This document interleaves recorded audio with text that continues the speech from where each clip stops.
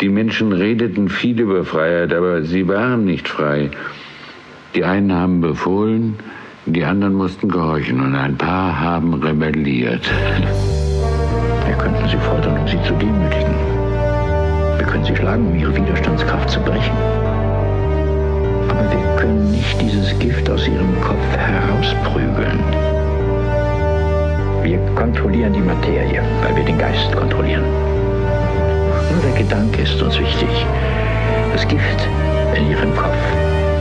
Glaube, was ich glaube und was du nicht glauben kannst. Oder du sollst des Todes sein. Was also bleibt Wahres übrig? Vielleicht nur dies eine, dass es nichts Gewisses gibt. Ich hoffe, dass es in diesem Lande noch einige Nachdenkliche gibt. Wir sehen kein Verbrechen darin, wenn wir einen Stacheldraht zum Beispiel zerschneiden. Der Protest ist eine wichtige Aufgabe. Ich wollte die Wahrheit wissen. Ich bin, ich bin erschüttert über das, was ich hier gehört habe. In mir ist alles verbrochen. Aufklärung, systematische Aufklärung.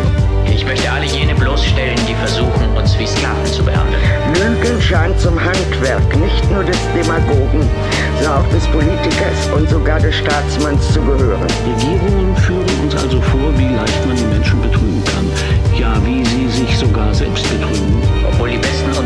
ganz sicher die besten Absichten haben, liegt es in der Natur der Dinge, dass sie uns demütigen müssen, um uns zu kontrollieren. Das heißt, wir sollen auch die Macht neu definieren. Wer aber gehorcht, der hört sich selber nicht.